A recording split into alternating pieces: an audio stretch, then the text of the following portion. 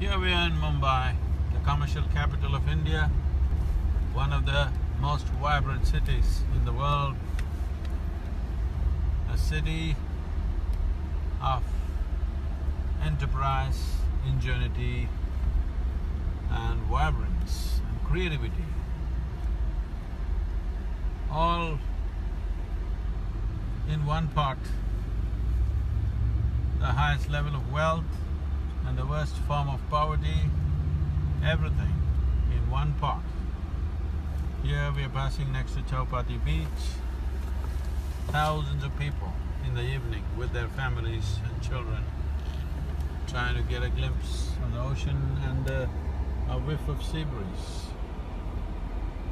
Congested and crowded, but many Mumbaikars, the residents of the city, for some reason they wouldn't want to live anywhere else. The next two days we are here, the events here will be big because the awareness in the city is very big. Maharashtra has gone through many cycles of drought and flood. Mumbai itself has seen a recent flood.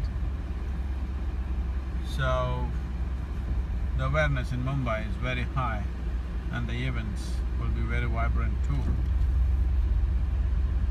This is Mumbai for you. Mumbai, Bambai, Bombay. When we were children, they used to call it Bambai, Bambai. Then in English they said Bombay. Now it's Mumbai. But one thing is, whatever the name you call it by, this is a live wire of a city.